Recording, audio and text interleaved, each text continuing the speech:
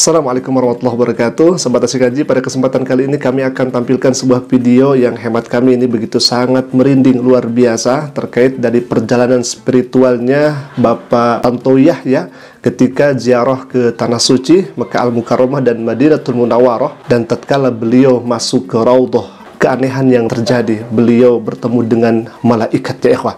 Baik, kita akan jelaskan bagaimana seorang yang bertemu dengan malaikat, apakah memang itu dibenarkan di dalam Islam? Kita akan jelaskan, namun kita akan tampilkan terlebih dahulu bagaimana kisah yang begitu sangat menarik dan sangat luar biasa ini Alhamdulillah. Kita akan saksikan bersama, ini merinding ya ikhwah.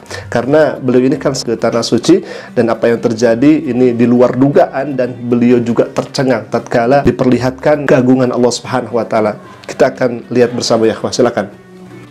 Jadi saya pernah naik haji tahun 2000 uh, eh bukan haji umroh tahun hmm. 2013 melaksanakan umroh.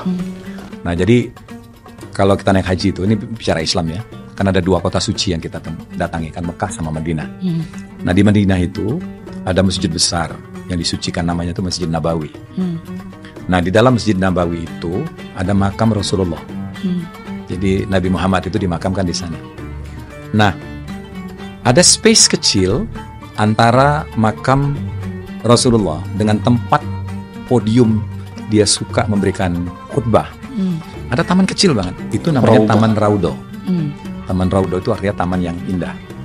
Taman ini diperbutkan orang, bayangin deh ratusan ribu kan orang ngantri untuk masuk ke tempat yang sejengkal itu. Hmm. Kenapa? Karena itu tempat paling mustajab berdoa.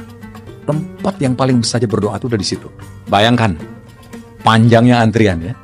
Orang nahan pipis dan segala macam. Enggak, orang berdiri aja. Ya saya ikut tuh antrian itu. Hmm. Ikut Mary. Ikut begitu sampai ke depan pagar itu. Terus saya mau melangkah. Saya urungkan, saya batalkan niat saya. Saya balik ke belakang. Hmm. Ya, balik ke belakang.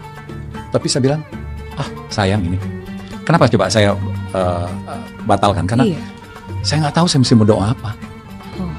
Saya nggak tahu. Mendingan orang di belakang saya gitu, iya. yang mendapatkan kesempatan itu. Akhirnya, ya udahlah saya bilang. Saya kemudian akhirnya masuk karena saya lihat ada tempat kosong. Bayangan Mary, di tempat jajaran orang lagi duduk itu ada tempat kosong. Aneh kan? Iya. Saya menuju ke sana. Duduklah saya di situ. Wow. Begitu saya duduk, saya bengong lagi. Ah, udah saya keluar ah. Karena saya memikirkan antrian yang begitu panjang itu. Iya lebih bagus I give up this space gitu to them kan? Yeah. yang lebih perlu.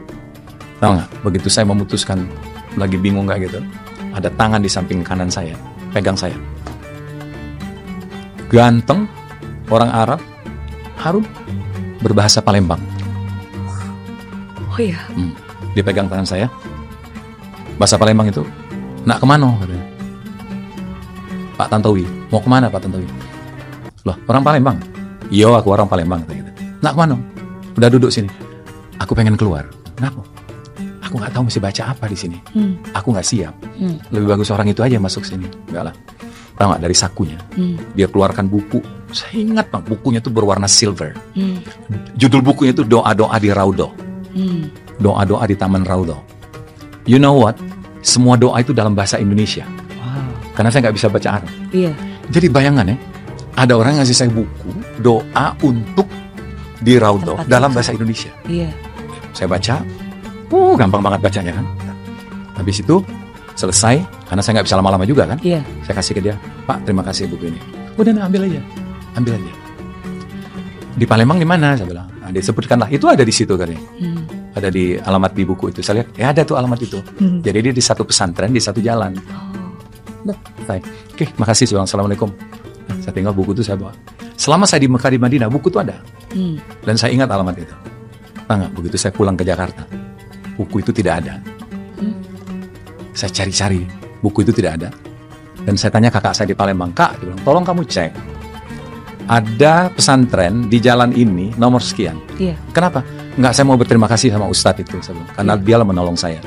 Ya udah, jalanlah kakak saya. Nah, kakak saya cerita, nggak ada toh katanya alamat itu toko.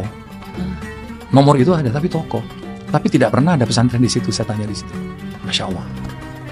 Siapa orang itu? Iya. Ya. Itulah kebesaran Tuhan kan? Wow. Ya.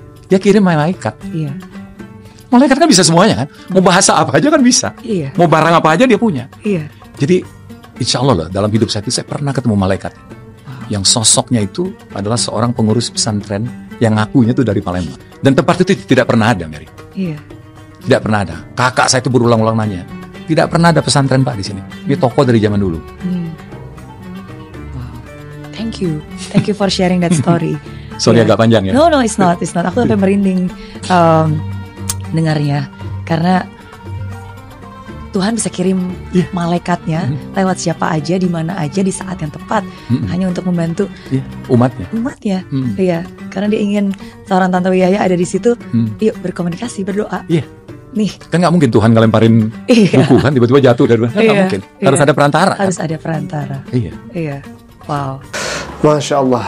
Ini sangat merinding ya ketika beliau ini melakukan perjalanan spiritualnya dengan ziarah ke Madinatul Munawwarah yaitu berkunjung ke Masjid Nabi SAW di mana di sana ada raudhah dan di sana juga ada makam Nabi SAW dan raudhah ini merupakan makanul ijabah tempat yang di mana ketika berdoa diijabah oleh Allah Subhanahu wa taala. Dan yang menarik di sini beliau bertemu dengan sesosok orang yang ketika ditelusuri alamatnya justru tidak ada ya Ikhwah. Baik, apakah bisa kita sebagai manusia melihat malaikatnya Allah Subhanahu wa taala di mana malaikat ini menjelma menjadi manusia? Nah, jawabannya adalah bisa ya ikhwah. Bahkan dulu di zaman Nabi sallallahu alaihi wasallam ketika Nabi sallallahu alaihi wasallam didatangi oleh malaikat Jibril tentang Nabi sallallahu alaihi wasallam ditanyai tentang rukun iman, rukun Islam dan ihsan, wa ma huwal iman dan yang datang itu adalah malaikat Jibril namun malaikat yang berbentuk atau berwujud manusia ya ikhwah. Apakah kita bisa didatangi oleh malaikat dengan berwujud manusia? Maka jawabannya bisa. Dan malaikat tidak akan merubah bentuknya dengan sesuatu yang hina ya ikhwah. Akan tetapi malaikat merubah dirinya dengan bentuk ya. Kalau misalkan manusia akan seperti manusia yang indah begitu ya, yang betah untuk ditatap dan enak untuk dilihatnya ya ikhwah. Dan hal ini memang kejadian di zaman Nabi Shallallahu Alaihi Wasallam. Jadi kalau misalkan kita bertemu malaikat dengan berwujud manusia, apakah bisa? Bisa ya ikhwah. Karena ini pun juga sama kejadian di zaman Nabi Shallallahu Alaihi Wasallam. Dan malaikat ini bukan hanya Nabi saja yang melihatnya, tetapi dengan para sahabat Nabi Shallallahu Alaihi Wasallam yang lainnya mampu melihat malaikat itu yang merubah bentuknya, yang merubah wujudnya dengan wujud manusia. Siapakah malaikat tersebut? Malaikat tersebut adalah malaikat Jibril yang mengajarkan Nabi dan para sahabatnya tentang rukun iman, rukun Islam, dan ihsan ya ikhwah. Dari video kali ini kita bisa mengambil hikmah dan mengambil pelajaran tatkala beliau ini ikhlas membantu. Kemudian dalam keadaan yang demikian ya ikhwah, yakinlah dan berhusnuzonlah maka insya Allah pertolongan Allah akan datang kepada kita. Baik itu melalui malaikatnya atau dengan cara yang lain yang indah yang datang daripada Allah Subhanahu wa taala. Alhamdulillah mungkin itu dulu video yang bisa kami sampaikan. Semoga bermanfaat. Aku qouli hadza wa Assalamualaikum warahmatullahi wabarakatuh.